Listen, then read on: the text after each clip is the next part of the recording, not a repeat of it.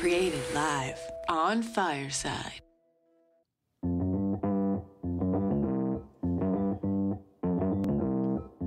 Live from Joe's mom's basement, it's the Stacking Benjamin Show.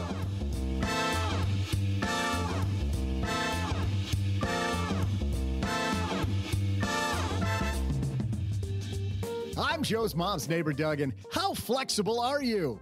No, no, no, I'm not talking about yoga, which is another thing I do very well, but I mean, how financially flexible are you?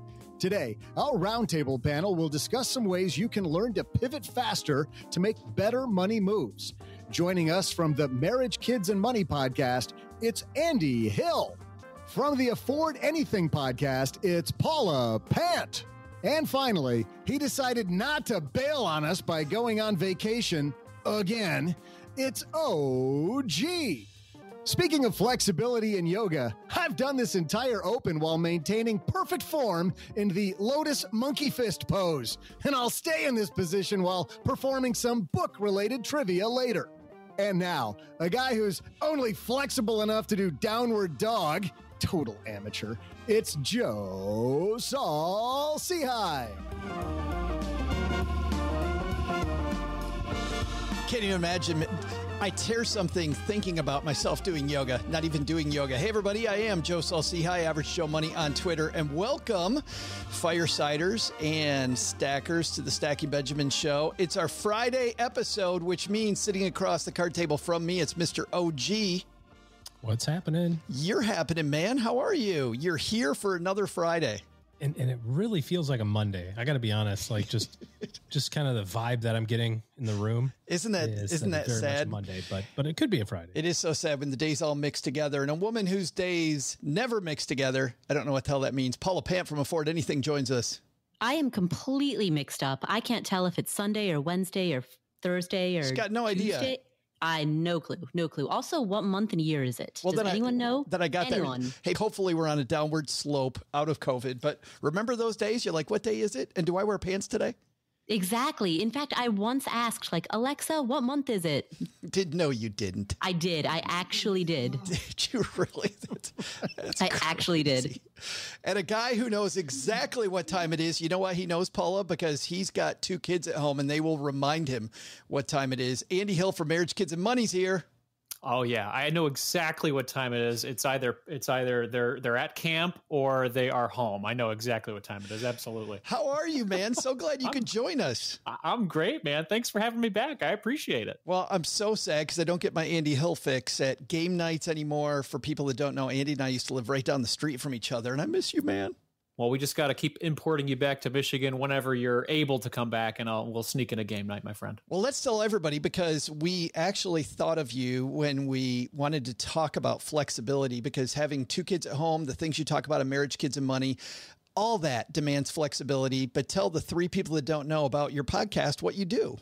Yeah, yeah. I've got a show called Marriage, Kids, and Money, much like Joe. It's a podcast, a YouTube channel, a blog, all sorts of good things. But the, the purpose of it is to help young families build wealth and happiness. And the second part is the most important because if you have the wealth built, you have that opportunity to have some flexibility. So we've talked about our journey as a family, about how we have paid off our mortgage early. We've achieved this great thing called Coast Fire with regard to our retirement savings. We paid off all of our debt, and a lot of these things help us to have that flexibility when it comes to our our family plans, what vacations we're going on, how much time we're able to spend with our kids. So that's the journey I'm continuing to be on, and I'm glad to share it with everybody that listens in. People people get lost in all the fire terminology. Andy, you got coast fire, fat fire, lean fire, uh, fire drill. I don't know, uh, but coast fire means you were able to quit your job at a young age.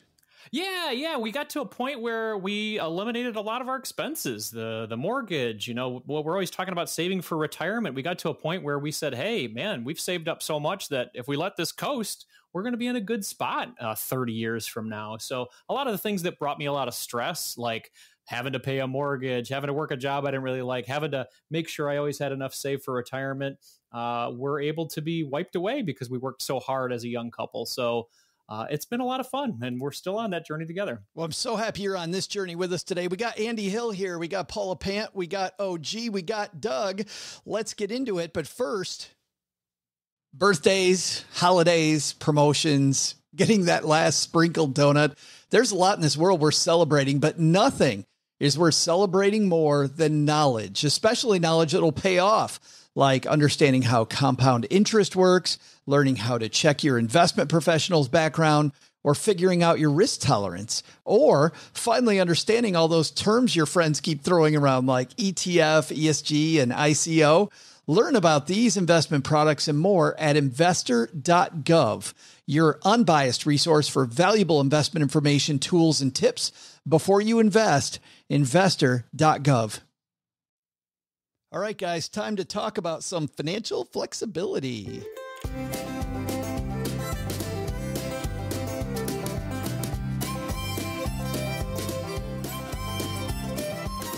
Today's discussion is built around, like uh, many discussions that we have on Fridays, is built around a popular blog post in the financial space.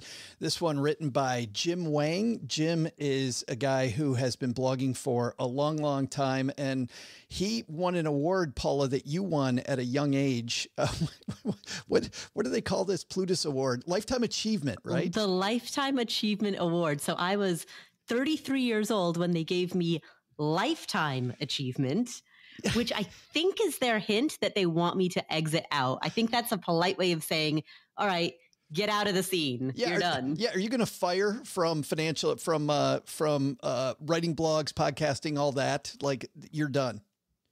I mean, I think that's what they were trying to hint at when they were like, "Lifetime, lifetime, you've achieved everything that you will in in your life. You're, uh, you know, 33, you've peaked. You're, you're, it's all downhill from here." Jim Jim writes uh, in this fantastic piece. We'll share it on our show notes page at stackingbenjamins.com. He says, "As I grow older, I'd learned that it's that it is a good path, but not the only path, which is more education." He says one of the benefits of the internet and of social media is that you can see how others are living their lives and borrow the ideas you like. You don't have to accept it all or nothing. You can just borrow bits. And he said, that's what I do with all advice on the internet. And it served me well. He says he don't want, he doesn't want to retire early, but he sees the fire movement and he loves how they're turning traditional work on its head. Save aggressively, invest prudently, retire early. It's all about financial flexibility. I want to start with you, Mr. Hill, not just because you're our guest, but because you're a guy that not only owns your home, you paid off your house early. He talks about renting instead of owning is a great way to stay flexible. In hindsight, do you agree?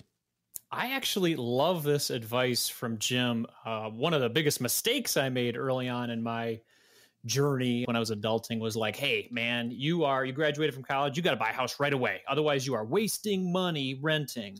And man, was that a personal mistake of mine? I ended up buying a house uh, maybe a couple years before a big crash in Metro Detroit. And I, the home value didn't return until 10 years later. When oh, man. It it was crazy. It was one of those things where I just felt stuck in the home. So yeah, renting, I'm all about what Jim's saying here. It gives you flexibility. There's no one right way to live.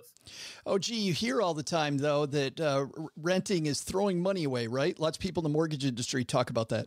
Well, if you're selling houses, you better you better make sure the market is pretty frothy to get your uh, client list up. But uh, Andy, I did the same thing. We bought our house, our first house in uh, 2004 because you know God's not making any more land and uh, bought a bigger house than we should have and promptly sat on it for the next 10 years because the market did not behave the way that we anticipated. Uh, what was the question, Joe? I totally that uh, was that, that was it. Just hearing that people are talking about oh renting is yes. it, is it is it bad? Yeah, I I think you know the the pure apples to apples cost comparison isn't fair to use when you're renting versus owning a property or owning a home because if you just look at the cost you say well i can rent it's 1100 bucks or i could get a mortgage and it's 750 if you just look at that you say yeah okay i see it. I'm you know i'm losing money air quotes. But you have to add in taxes and insurance and maintenance and upkeep and the fact that you know when something goes wrong you have to take half a day off to wait for the heating guy to show up. You know, like all of that stuff is an added expense that you just don't take care of or you just don't think about, I should say, uh, unless unless you're actually uh, uh, doing it, and and so you get kind of lulled into that, like, well, I'm wasting money, and then and then you get to it and you go, well, son of a gun, this this this costs the same, or maybe it costs even more than than renting, where you can just pack your stuff and go to another place. Paula, when it comes to renting versus buying, I know mm-hmm. you've got this situation where you do both. Like you, you, mm-hmm. I think you own a place and you rent a place right now. Correct. Yeah, that is correct. So largely, the whether renting or buying is better in a person, a specific person situation depends on um, the cost of living, the price to rent ratio in the area in which they live. If you live in a very expensive city, if you're in New York or San Francisco or um, you know, one of one of like a, even LA, um, if you're in a very high cost city, oftentimes it makes more sense to rent, particularly if you're going to be in a given location for fewer than five to 10 years. Jim says, Paula, that there's some upside. He says that if you rent your home, you could leave as soon as your lease, lease ends. Heck, if you wanted to leave before your lease ends, you could just go. You're going to be responsible for, for paying the rent or subleasing it, but you don't have to sell the house. But if you own, well, you're on the hook for everything. And he says renting can be expensive, but, and I think this is the big but, you pay extra for flexibility. Do you feel like that's the, the kind of the renter's agreement? See, I disagree with that. I find that owning provides greater flexibility than renting in that you have the autonomy to decide to rent out your house. So if you want to leave that home, you have the autonomy to decide to rent it out. You have the autonomy to decide who the renters are going to be. You have the autonomy to decide if it's going to be a short term, short term or long term lease. I mean, if you are under the the control of a landlord, then there are going to be restrictions within your lease about what you can do with that property. You may not be allowed to sublet it, for example, or if you can sublet it, you might not be allowed to um, sublet it on a short term lease. You know, the, the, landlord can put all kinds of restrictions in there that um, that tie your hands. Whereas if it's your property, you get to decide what you do with it. It sounds like so, all things mm-hmm. being being equal, you prefer owning. Yes, yes. All things being equal, in a moderate cost of living city, in a place like Indianapolis or Atlanta, I think that owning is a better uh, choice. But I would not say that about a high cost coastal city. Indianapolis or Atlanta. Like it's it's funny how you just randomly pick cities. Like uh Pawtucket or Kalamazoo. that's that's the deal. Uh, he's got a quote in here though, Paula, and and man, I like this quote. He says this is from Fight Club. The things that you own end up owning you. I think there's some truth in that. Uh, I I feel like it's a little bit of a platitude that doesn't really have teeth. Um, because at the end of the day, broadly speaking, you have decisions about what you want to do. And if you don't have the right tools, then you can't do certain things that you want to do. We couldn't be podcasting right now without a certain set of tools. Does that mean that these podcast tools own us? You mean tools like argue, you mean tools like Doug? Sha. Why? Why why was that necessary? I'm sitting here quietly in the corner like you told me to. I couldn't help come it. swinging. It was right there. I'm sorry. Paula, back to you. well, we couldn't be podcasting right now without the podcasting tools at our disposal. Now, does that mean that these own us? I would argue to the contrary, they free us. They allow us to do the things that we want to do. Uh, the second one on his list here, uh, Andy, back to you, my friend. Saving aggressively. He said, It took me a long time to realize that money is time. To retire early, you must have uh, thought about that during your journey to get the heck away from work. Yeah, I, I, would love to say that I'm retired early, but no, I, I just really like the concept of fire and everything that everybody's doing. I'm doing my best to to make money in this uh, wild digital entrepreneur world, but yes, I definitely saw saving as my outlet outside of the job that I didn't really like. And for a period of time, I think it was about 10 years of our marriage, we were saving about 50% of our income. And we were lucky enough to be making, you know, I think on average, maybe like 170K a year. So saving 50% is a lot easier that way. Yeah. But uh, we got used to it. We got used to being able to live on sixty, seventy thousand dollars a year, and with that, it gave us the freedom to make some choices when uh, when the time came like when nicole wanted to say hey i'm, I'm interested in stay, being a stay-at-home mom with the kids. Okay because we're saving half of our income you you have that choice. Or later on when i was like i'm about to tear my eyes out if I have to continue selling stuff that I'm not passionate about. And she said, Hey, well, we've got that option now. So why don't you go try something new? So yeah, uh, it definitely is true uh, that that saving aggressively helped us to create some more options in our life. Paula, how long has it been since you've worked for somebody else? Since 2008. And this idea that money is time, you know, if you give up the job like Andy did and you work for yourself, is it more of a struggle to save? No, um, it depends on how much you're making. So I don't think that that's the good, delineating. That's actually a good point. Thank you. yeah, yeah. It's, I don't think that the delineating math, factor is uh, is whether you work for yourself versus whether you work for someone else. I think the delineating factor is how much are you making. And and how can you separate your income from your expenses, like like Andy talked about? Yeah, I mean that that's more of just a budgeting thing. Like if you're working for yourself, then you pay yourself a salary, and so you create a distinction between your business revenue and your personal income. Yeah, but still, I, I still think that's the huge part of the two. Like I don't know, I've met people make two hundred fifty, three hundred thousand dollars a year, and they're still having trouble making ends meet. Why? Because of the fact that they spend money like it's water, Paula. Well, that's that's the issue. But I don't think that that. Uh, I don't think that that's specific to running your own business. I mean, you could certainly be an employee making 300K a year and also be spending money like it's water. Sure. Yeah. I didn't mean the yeah. business piece of that. I meant the piece about, about making it so it's easier for you to do what Andy did. Mm. Yeah, I would say, I, I, mean, honestly, I think having a high income makes everything easier. You know, the, there are certainly people who are making 300K who are not managing their money well and that high income probably enables some of that laziness um, or or some of that lack of attention.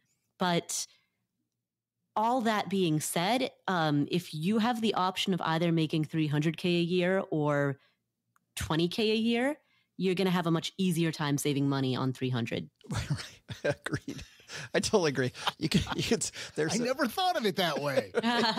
if I just made a million, I could I could save way easier. Well, and so that's why like the platitudes like oh it's not what you earn it's what you save like those platitudes are so incomplete right they they don't capture the reality of the situation it's what you earn and what you save correct we need a new platitude paula Oh, gee, but there's two pieces of this. When when Jim says that money equals time, I think about two things. I think about number one, what what Paul is talking about, make more money, right? That's piece number one. But number two, you see these people that do side gigs. They sacrifice more time to get where they're they want to go, and you see them actually trade time today for future time tomorrow. Fair trade off. I think like what Paula said, it just kind of depends on what you're doing with that extra stuff on the end it's easier to save more money if you make more money. But and while that's I think somewhat true, if you don't have the good habits when you don't make a lot of money, you're not going to have the great habits when you do make a lot of money. If you can't give away fifty dollars a month when you make fifty thousand, you're not going to give away five hundred dollars a month if you make five hundred thousand dollars. So you have to have those, you know, those um, behaviors established, even with the smaller dollar amounts to the best that you can. But um, but if you're if you're thinking about money and uh, time and how they're related, um, the, the the the one of those that's impossible to get more of is time, right? Like it's just it just it it runs out, and so if you're going to uh, use something like a, like a side hustle income to generate more cash, I sure hope that you're using that so that you're buying more of that time in the future, like you said, and not using it for consumption. You know, especially if you're on the other side of the income curve, like we're like Paula was talking about before. If you've checked all the boxes of being able to handle all of your needs, and those are the people around you, and you're also just working in order to just be able to blow more money, I think that's a mistake. The the next one here, Andy, I think hits you directly, which uh, Jim writes: "Give loyalty sparingly, if at all." He says you should be loyal to friends and family, not necessarily to the company you work for. We see people though all the time, Andy. You must have seen people around you. Well, and even I know in the position that you were in at you, your work, you were in a management role. Like there were a lot of reasons you could have stayed loyal to your company. Was it hard to give up some of that loyalty and leave? You know, it was. It was a great company, and I really appreciated all the people that I work for. It's just that I fell out of interest with the the job that I had. I did it for about 15 years, so uh, knowing what I used to make and the benefits that I had and the good people that I had surrounding me to help me do the work, it's definitely hard when I look back in hindsight, being like, "Hey, now I'm a solopreneur." I'm making like a quarter of what I used to make at my other job, and I don't have any of the benefits. But would I trade it for uh, what I have now? I, I'm like working like 20, 25 hours a week. I'm working on stuff that I absolutely love. And yeah, I make maybe a quarter less of the money, but I wouldn't trade it for the world. I absolutely love it. Uh, Jim's right here. I mean, loyalty to your family is more important than loyalty to a company, and that's that's what I found. How do you get people, OG, when they get to that point that Andy's talking about to actually make the jump? Because as Andy said, that's really tough. Well, uh, sometimes you just need the permission to do it, you know, because the first thing that um, Jim talks about here is is how it was ingrained into him to go to school, get a good job, and you can uh, f- uh, fulfill all your obligations, you know, with those things. But then you get to that point and you have been able to fulfill all your obligations, or you have the ability to step away or make a change. A lot of people get trapped in that and say, "But I don't, I don't know if I can. I don't know if I should." And sometimes a, a, a, a blogger, a podcaster, a financial planner, an accountant, a, a good friend needs to step in and say, no, you've done all the things the right way. You have the ability now to do the next thing. And, um, and sometimes you need that other person, or sometimes you just need to convince yourself that you have permission to, to, uh, take a step back and say, yeah, now I'm going to go do this other thing that I really like doing. I love that idea. Run the run the numbers first, and have somebody else look for your blind spots. Andy, did you do that? I'm I'm sure you did. You must have. Well, you know, I'm I'm I'm a good nerd, so of course I did. Yes, of yeah. course. No, I uh, um I we saved up uh, a good runway of money. Uh, we were going to get into rental properties. I was very uh, impressed with the you know great work people like Paul have done with rental properties. So I'm like that that's the train we want to be on. And then after a while, we just decided that wasn't something that we wanted to do with two small kids, sort of another job, uh, or at least felt like that. And so we uh, decided to use that runway of money. I think we saved up about seventy-five or hundred thousand dollars just to be like, hey, if this thing goes to, to hell in a handbasket, uh, at least we got some money to live on. Um, That's good. And, it was uh, like a burn rate, right? Like you're. It was, yeah. yeah little runway. Yeah. So that, that helped us a lot. And obviously we looked at the numbers quite a bit and had a high savings rate. And I had a really supportive wife. I mean, out of all of it, really, honestly, she was the one that kind of pushed me uh, to to making the leap. And uh, two years later, I'm still alive, and so she so is she, and so are our children as well. So that's good. that is that is you're still around. Hey, uh, still Paula, around. Uh, Paula, next up on this list is protect yourself at all costs. And I know that as an entrepreneur, you think, well, these these may be some things that I'm going to let slip. But it also seems to me that if you're relying solely on yourself, protecting yourself might be a little more important. Yes. And so I, I love the phrasing of the headline, protect yourself. In his writing, he talks specifically about insurance. So he talks about renter's insurance, homeowner's insurance. A point that you've often made, Joe, is that when people focus on insurance, they're focusing on product. Whereas when you frame the discussion as a focus on protection, then you're focused on the end result rather than a specific product. So while various forms of insurance, like homeowners insurance um, are good forms of protection. Asset protection more broadly, like in a holistic sense of the word, is I think a um, an under talked about and very important focus of like a good financial plan. Which piece of that plan, OG, that Paul is talking about, do people generally ignore or get wrong? I think most people ignore anything that could be bad that happens to them. You know, um, uh, most people uh, have car insurance. Most people have homeowners insurance, mostly because it's mandated, right? You know, the mortgage company requires you to have it. But then you think about something that has a far higher certainty of happening or probability of happening, I should say, like being sick or hurt for an extended period of time, and and and you say, well, I don't need to do that. I'm a pretty healthy guy or I, I drive pretty safely. I don't, I, I'll, I'll never be in an accident. And um, obviously, the last 15, 18 months have taught us that, uh, uh, that, that we don't know what the future is going to hold. So I think, I think probably the more overlooked stuff is the stuff that involves admitting one's own um, mortality. Sticking with you, the last point on this list is to build up that emergency plan. He says we've all heard about emergency fund, but having an emergency plan is equally as important. What does what does an emergency plan look like, OG? We talk about it when we work through financial planning with clients. We call it the responsibility game plan. And the whole idea is think about all the stuff that can go wrong while you are not in a status of, of uh, high stress because you don't make really good decisions when you have a lot of other stuff going on. And it's not fun to think about some of the protection stuff that we were talking about just a second ago. It's not fun to talk about your estate plan. Uh, it's not fun to think about the stock market going down 30% or you getting laid off. But those things happen. And if you've got the opportunity while you're of relatively sound mind to kind of game plan that stuff, here are the things that we would do. Here are the first, you know, here's what the first 100 days would look like if this thing happens then uh, put it on the shelf and then you're good. Your brain will uh, be able to recall that, and and certainly uh, some notes will help. But if you follow the plan that you thought of while you were, like Jim says, cool, calm, and collected, you know, you have a better chance of making good decisions along the way. If you try to figure it out in real time, there's too much other stress going on.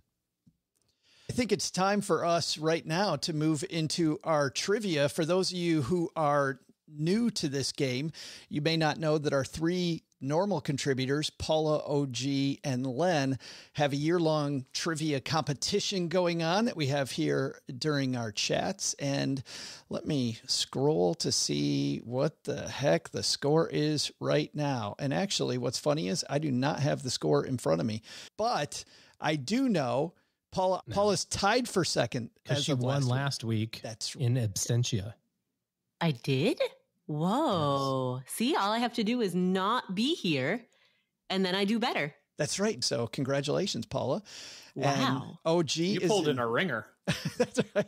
And OG is in first place, which means uh, OG's going to guess first. Andy, because you're representing Len Penzo, our returning champion, you're going to guess second. And Paula Pant, you will guess third. Doug, you ready to do some trivia with us, my friend? I am, Joe. Let's rock. Here we go. There, stackers. I'm Joe's mom's neighbor, Doug, your best friend. And did you know that today just so happens to be the anniversary of the first book ever published by Penguin Random House? Penguin is also getting ready to publish their best book ever, now available for pre sale Stacked Your Super Serious Guide to Modern Money Management. Wow, Joe. Well written plug there. I didn't even see that coming from like a mile away, which for some reason reminds me of some of the worst books ever published. Hey, like, uh, like the like the manly art of knitting. Hey, I'm not knocking knitting, but come on, how big is that market? Or uh, everything I learned about women, I learned from my tractor.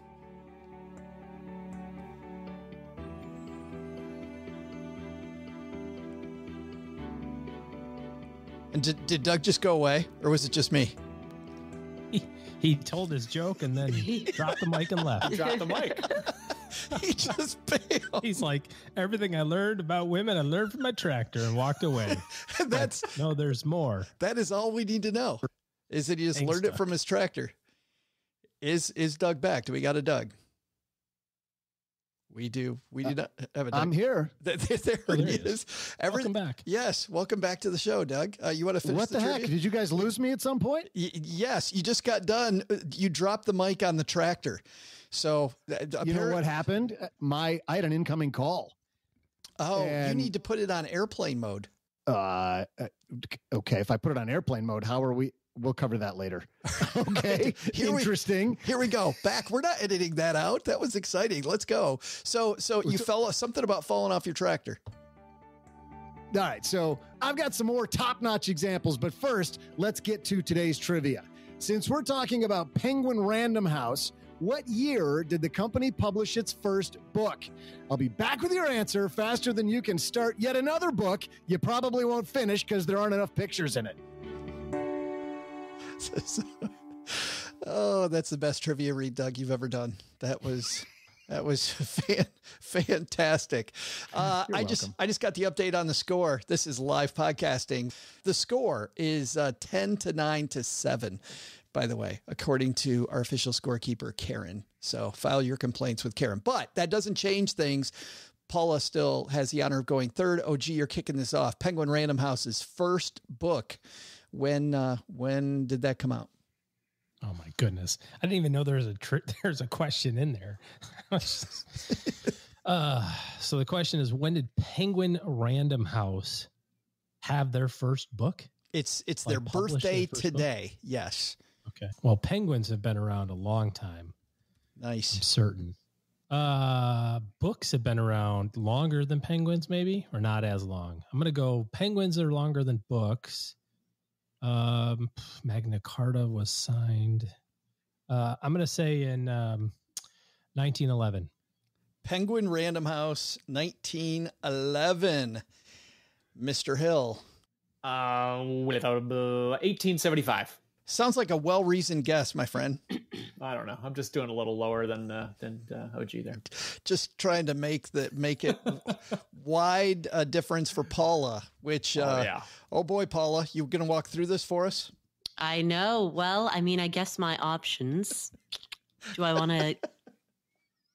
I'm going to capture the upside. 1912. Oh, you're not even gonna go through the options. Yeah, yeah. No, I, I.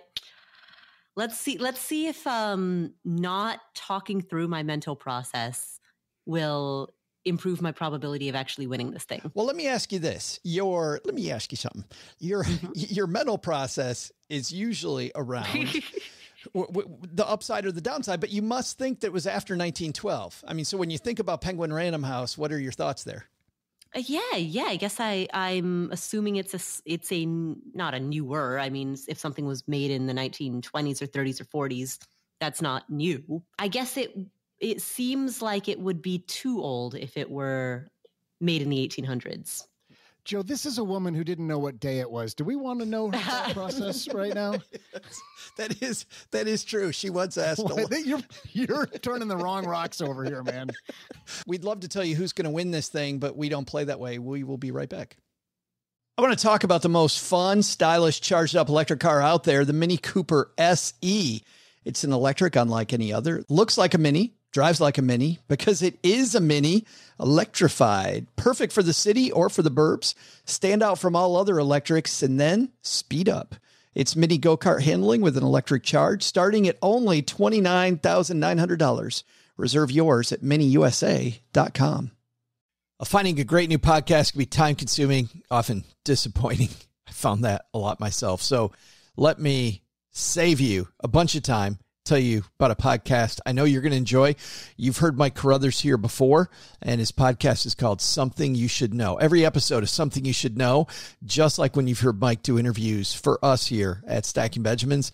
Delivers more of that same fascinating information you can use in your life and help you understand your world better. In every episode, Mike talks with leading experts on topics that really affect you. In fact, just recently, Mike and his guest have talked about why great ideas almost always fail first, why watching sports is good for you. I watch a lot of sports, so I must be incredibly healthy, and how to stay safe in a dangerous world.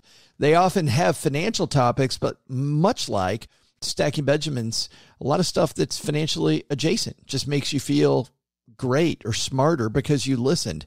They're these fascinating stories, and they're always going to leave you a little smarter than you were before. And that's what's great about Mike is that he asks these questions to get to the heart of the topic, the kind of questions that you'd ask. Something You Should Know is a fun, entertaining podcast. You'll learn something new and useful in every episode. It was listed in Apple's Shows We Love, and listeners have given it thousands of five star reviews. Give it a listen, and I know you're going to enjoy it. Search for Something You Should Know where you get your podcast. And when you see the bright yellow bulb, start listening, and you're going to thank me later, Stackers. Something You Should Know. OG, you kick things off with 1911. Feeling pretty good now. You've got you've got a little room on the bottom side there. I have absolutely zero clue whatsoever.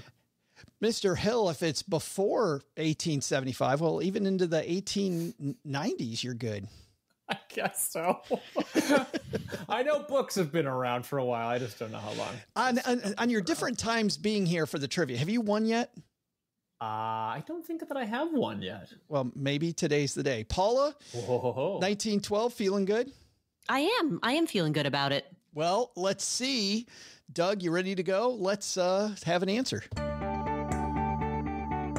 Hey, Stackers! Joe's mom's neighbor Doug, and I'm back and in honor of Penguin Random House's birthday. Check out some of these more horrible book titles, like Who's the Agent That Approved Why Cats Paint? A Theory of Feline Aesthetics. Totally needless book. Everybody knows why cats paint. It's all the stress they have in their lives. Or how why did Malcolm Bradbury need to write a book called Eating People is Wrong? He clearly hasn't tried using everything but the bagel seasoning. That's magical.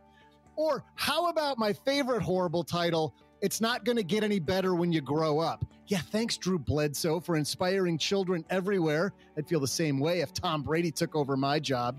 What? Too soon, maybe? Anyway, now hopefully that instilled in you the confidence to write your own, at least mediocre book title. So let's get back to today's trivia. The question was What year did Penguin Random House publish its first book? Even though Random House published their first book in 1934, and Penguin wasn't far behind with their own first read in 1935. The two companies didn't merge until much later, which means the first Penguin Random House book was published the year they merged, which was 2012. Gotcha! Paula is the winner.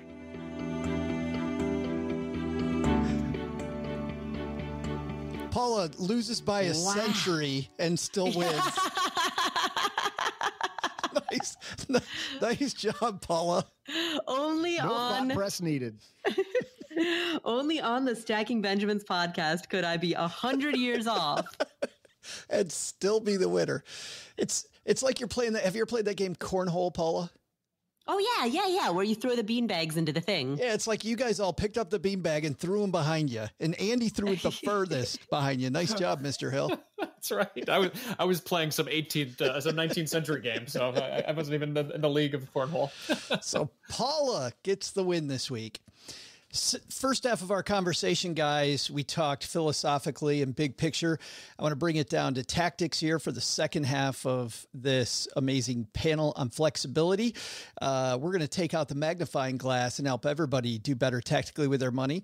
Uh, today's episode brought to you by magnifymoney.com. Andy Hill, you know what happens when you go to stackingbenjamins.com forward slash magnify money?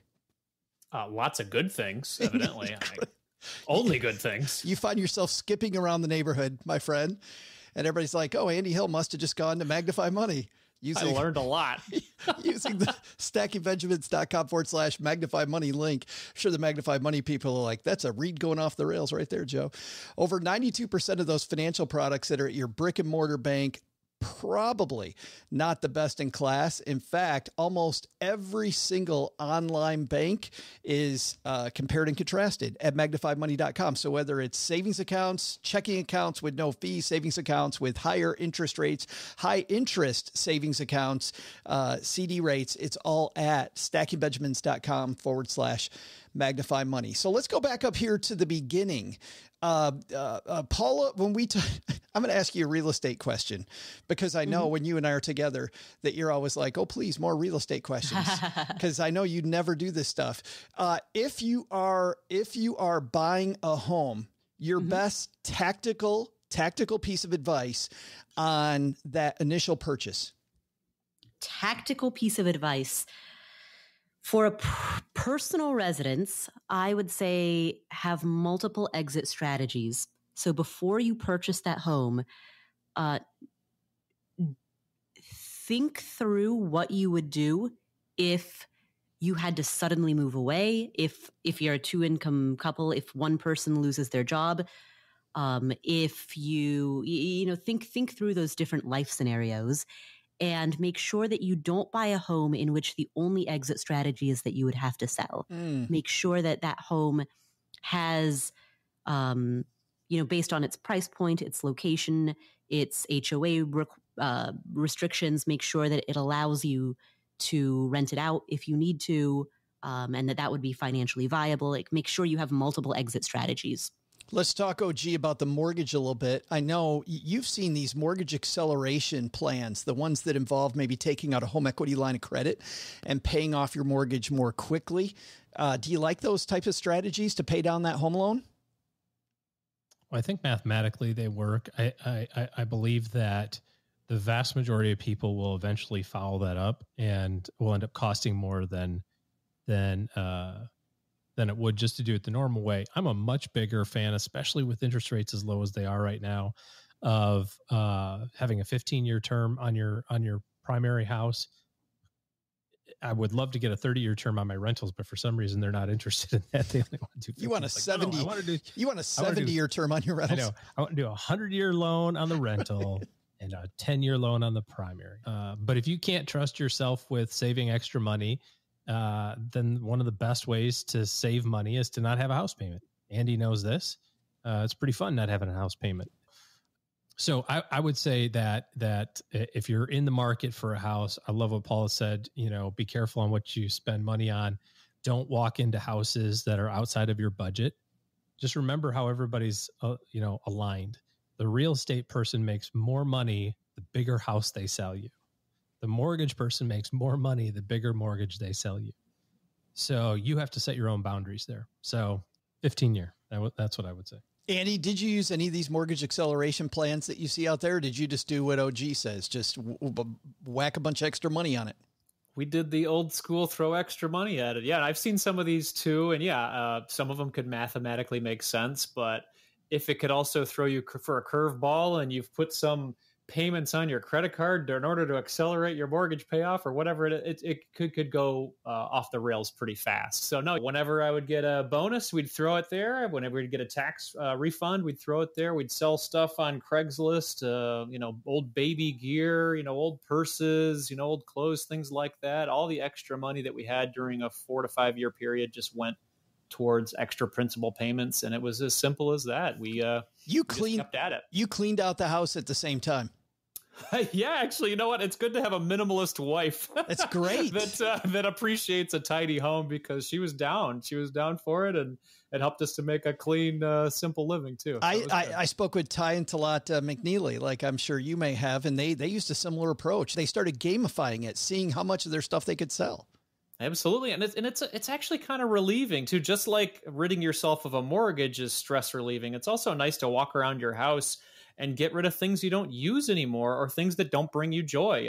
Uh, so walking around, you know, picking them up, obviously seeing if they have a little bit of value on Craigslist and Facebook Marketplace doesn't help. It doesn't hurt. But hey, even if it doesn't have value, maybe it's somebody else could have some joy uh, and getting that as as a giveaway. So you know, not only are you paying off your mortgage, you're actually reducing the amount of stress in your household as well. Let's let's stick with you, man. Uh, saving aggressively was the second tip.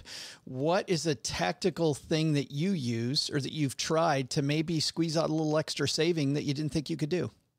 Yeah, honestly, it was just, uh, I'd say the main thing would be for advice for people would be uh, just find an amount feels comfortable for you and try to continue living on it even after you increase your income uh, because I'm not sure that there's much more happiness that goes with spending a ton more after like $70,000, $80,000 a year. I think there's been some studies on that. So if you can find some future happiness by saving today, by not increasing your lifestyle, watching out for that lifestyle inflation, that's what we did as a couple. We were making you know like $130,000 a year when we got together and we decided to live on half, uh, which was about whatever $60,000 and we've continued to live on $60,000 for the you know 10 plus years of our marriage and we've been a we've been a happy couple. So I think just watching for that lifestyle creep especially as new money comes into your life saying what can we do with this new money to make some big moves for our future.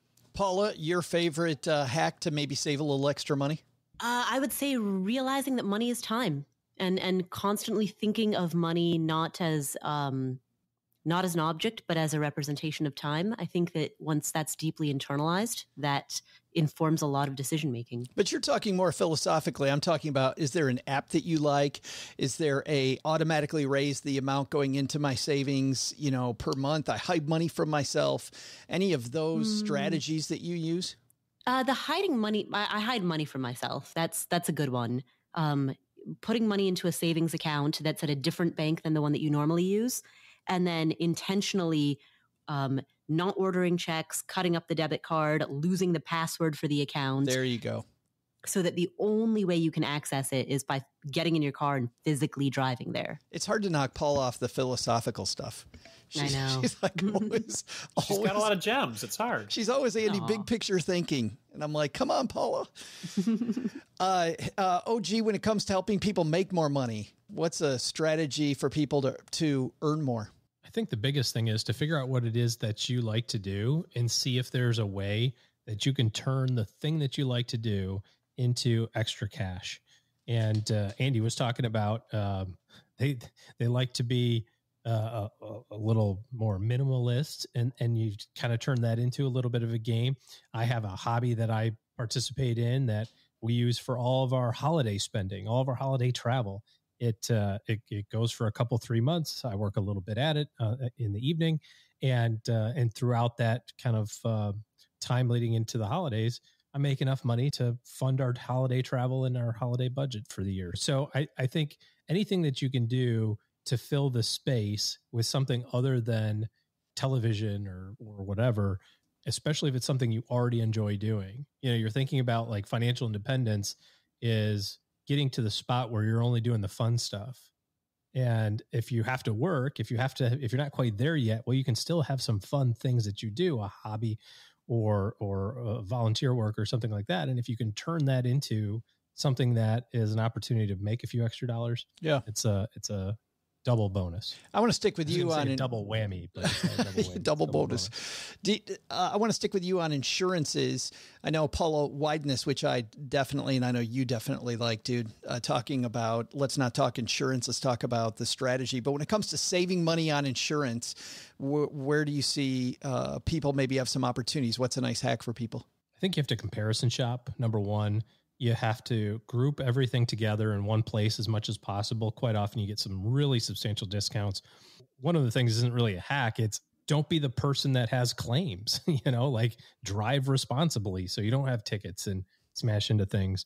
Um, a real easy crazy one talk. right off the what's that crazy That's talk? right. Yeah. We were sitting next to somebody in the after dropping my kids off this morning, my wife and I were sitting in the car. We look over the car next to us is like the whole front end is all crumpled. And I'm like, well, don't get in front of that dude. Oh, yeah, right. right. they don't care at this point. Um, I think I think one of the easiest things is check your deductibles. You know, if you've got a if you've got a cash reserve, which you should, and your deductible is five hundred bucks, change it to a thousand. If you get if you got ten thousand dollars in your cash reserve and it makes sense, change your deductible to twenty five hundred. That'll have an impact immediately on the cash associated with your property and casualty type stuff. Yeah, make sure you got that emergency fund first. Yeah, good stuff. Uh, and I know we talked about emergency plan earlier, but emergency fund, Andy, when you were accumulating that money, we look at what inflation's done here lately. You want to have a high interest savings account. Where, where did you actually go? What did you do to keep your emergency fund actually making a little money? You know during during the period of time and it's changed so much even just over the last three years uh, we worked with um, uh, ally uh, for an online savings account just kind of taking things out of our our regular checking account making 0.01% and for a period of time there we're getting 3% 2% now it's gone down quite a bit but still having it separated from our checking account has been fantastic because we can label our accounts with purpose. We can label this one's for emergency, this one's for vacation, this one is for uh, our future hot tub fund. You know, when we put a label on it, it becomes more fun and it becomes more real. So that sort of separates things for us. But we've always uh, we've kept around a three to six month emergency fund, and then after the pandemic. Man, six to nine months sounded pretty good to us for Yeah. emergency savings. So I know that's different for everybody. No, but I love that. Well, two things. Number one, because of the fact that you're self employed now, right? I mean, having that extra money, but then also, second, just your experience uh, went into that, Andy. Like finding your own experience over time and factoring that in, I think was hugely important.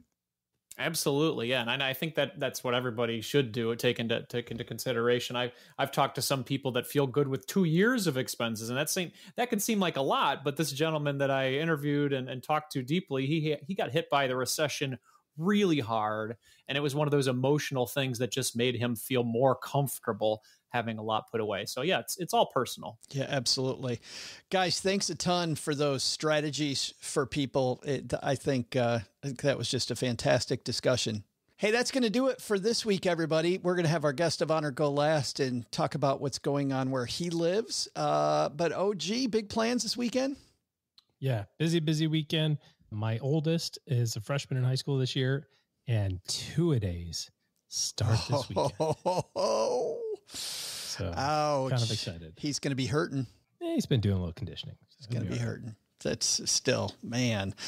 Paula Pant, thanks for hanging out with us again. Congratulations on the big win. What's Oh, uh, I'm thrilled I won. Yeah. what's going on at the Afford Anything podcast?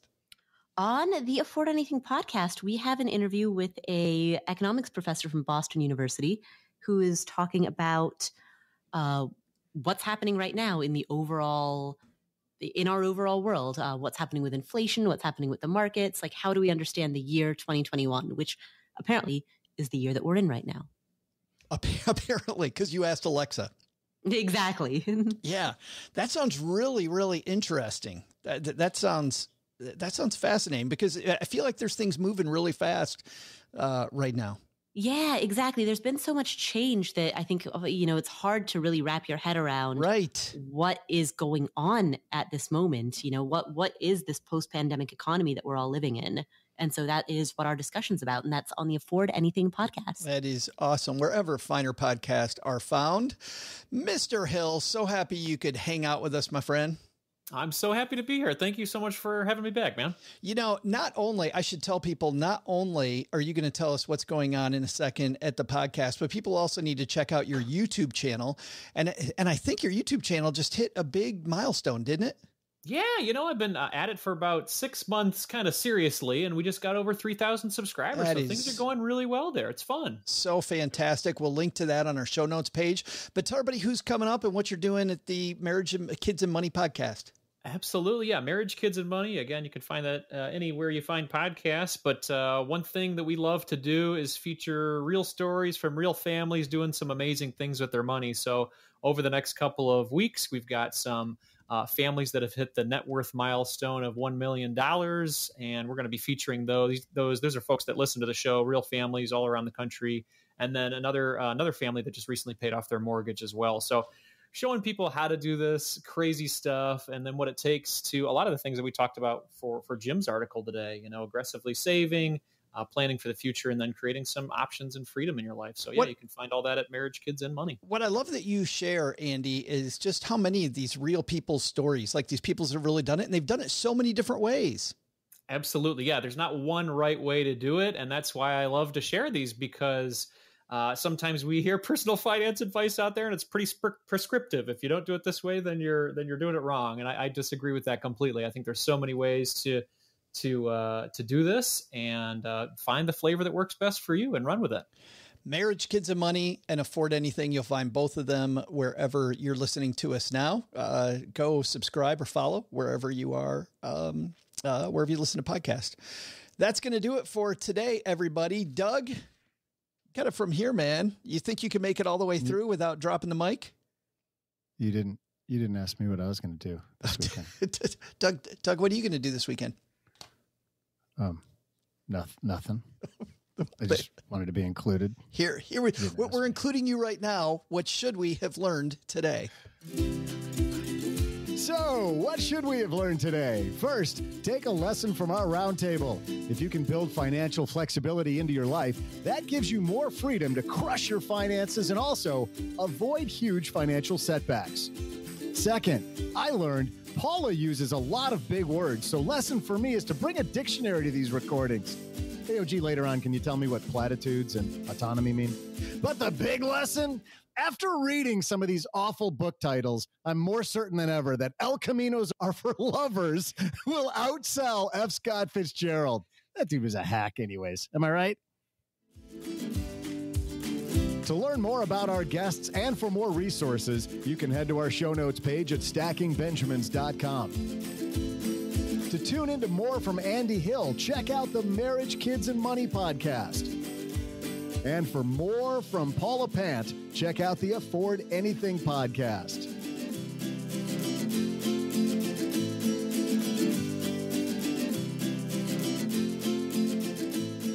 I'm Joe's mom's neighbor, Doug, reminding you Make plans for the weekend so you don't have awkward moments on live podcast recordings.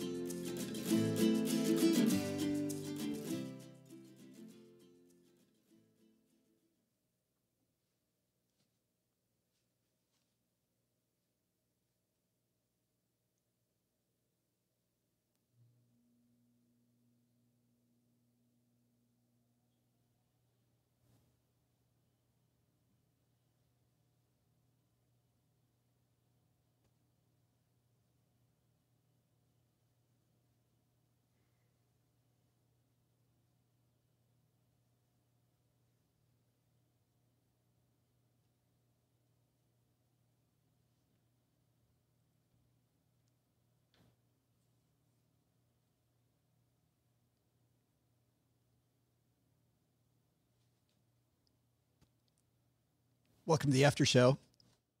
This is the part of the show that doesn't exist. If you're new here, you, we don't talk about the after show. If you have to talk about it, which some people have in the past, we call it dessert.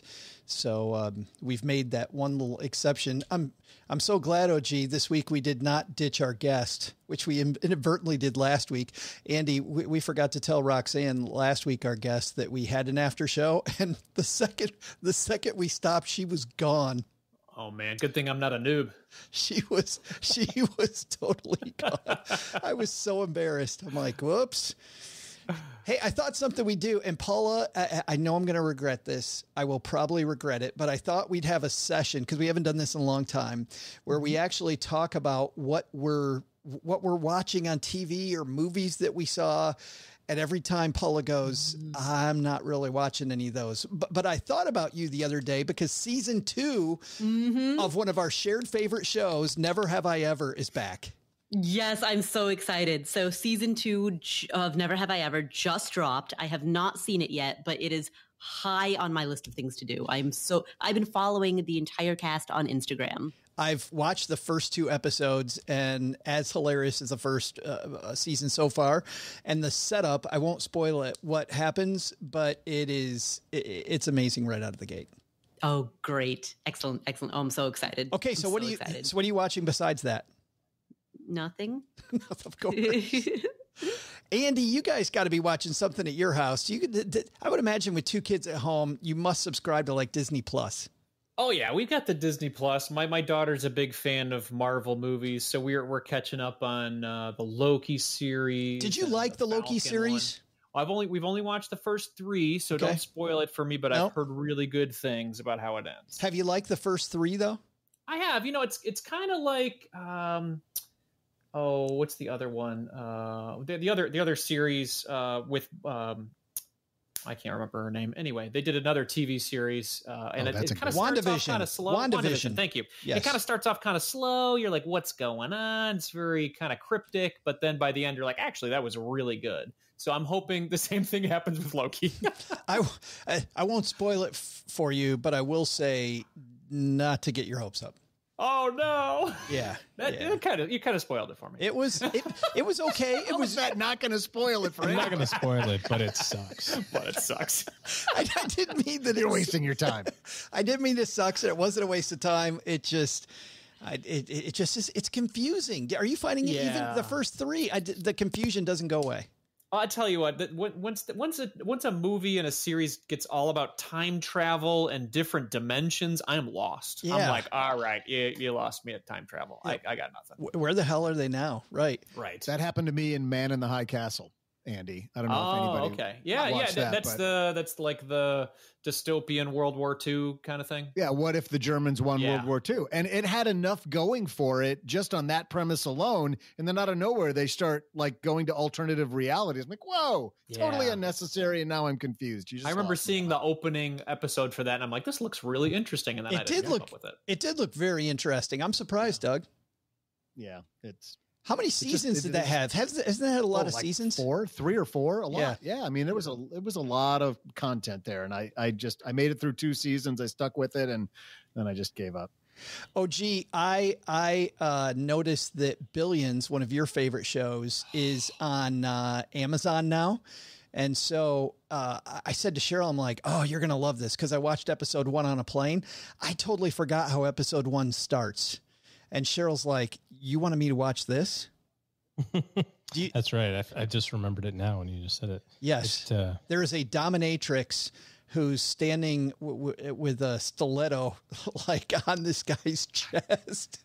And the episode finally gets good at the very end. Well, this is at the very. This is at the very. Oh, at the end of this no, episode. the episode of this podcast. Ah, yeah. you finally get it. And by the way, we finally heard some some uh, laughter there. I have to say this too. Some people thought that we we've installed a laugh track, and they're like, "I don't like that that you guys installed a laugh track." I'm like, we don't we don't have a laugh track. We have uh, laughing that uh, the we fireside have app can do. trombones. There you go. Oh, Oh, that's my favorite game show. that that was your theme today, Andy. For that, the price is wrong. absolutely. right. OG, had those. OG, what are you watching? I finished watching the first season. I don't know if there's multiple seasons, but I finished watching the first season of The Flight Attendant. Finally, I don't. I don't really get a lot of chance for TV, so I, I watch like 20 minute increments while I'm eating lunch or something with Kelly. Um, Kelly, what's her name from? Um, from Big Bang Theory. yes, Yeah. yeah. Quote, Um, quote. Nah. Yeah. If yeah, only there was a place for us to look that up. And um, I, sus- I I think they set it up for more seasons, so I don't know if there are more, but I haven't checked checked back. Um, Doug got me on Succession, which I'm waiting for the next season for. Yeah, this fall it's coming out. Yeah. Yeah, I thought I saw an ad for it. And then um uh waiting for the second half of Billions. So I don't know. They kind of stopped in the middle of the season, so to speak, because of COVID last time. So I don't know what the story is there. I haven't really looked into it. And then I just picked up starting watching The Pacific on HBO, The Pacific. is What, what's the Pacific been around a about? Uh, you'll never guess. It's about the Pacific Ocean. In a manner of speaking, it's about World War II and the Pas- the, the Oh, Pacific you mean like. Band of Band of Brothers, the Pacific? No, But that, Yes, except I mean the Pacific, not Band of Brothers. Band of Brothers was Europe. I don't think you're being specific enough. No, Awkward. it's got the dude from uh, Silver Spoons in it. Oh. For Ricky those of you Schroder? who are old enough to know who Silver Spoons is. that's an that. Uh, but that series has been out for how long? Forever. Yeah, Okay. it's So, what do you want me to do about it? You just 2010 asked, it you asked the question. You didn't say, "Hey, give me something that's out brand new that you're watching." I, Because I did not. I don't have an answer for that. Right. You said, "What are you watching?" So I said it. Now I'm getting crap for it. So And sorry. I'll, we'll stop giving you crap about it. What are you watching, Hey, Doug, what are you watching? I think we're. Uh, uh, what am I watching? Well, uh, Never Have I Ever. I've got uh, two episodes of that. First episode of Billions. Just finished Loki, and um, what else? Uh, somebody, my sister and brother-in-law told me that I that, that I need to see a series called The Patriot. Have you guys watched The Patriot? I have. I've watched. I think they watched the first season. And Didn't hook me. uh, they It hooked me long enough for like whatever seven episodes or something, but I didn't continue. they loved it and said I have to watch it. So now I'm on the hook. Got to watch that. Has has good moments, definitely. Joe, one of your recommendations, I think it's the the, the Last Kingdom or the Lost Kingdom. Oh my goodness, The I Last. Kingdom. Oh yes, Last Kingdom. I'm into fourth season on that one. I, I can't stop watching it. It's great. You watched Yeah, that it's one, OG, didn't you? No, I don't Did- know what it didn't is. watch The Last that's Kingdom? Really good TV. I'm not even gonna. I like how Paula's on like permanent mute. She's already gone to sleep. Yeah. I I know. I, I have not seen any of these things, nor have I heard about any of these things. And, and we are surprised I gotta- too. I got a recommendation for everybody. Can, is my mic on? Can you guys Yes. hear me? Is this thing on? Yeah. Um, last night I watched The Sound of Metal. Fantastic Sound- movie. You saw that? Yes. Yeah. Have Yeah, really, really good. Have you seen that movie, Andy? You'd really like it.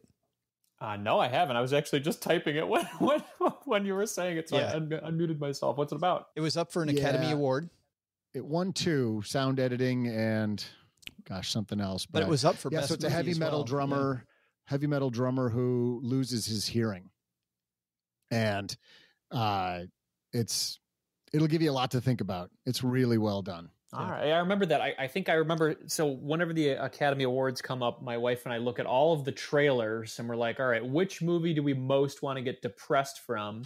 And then we choose we choose that one. I remember seeing the trailer for that one.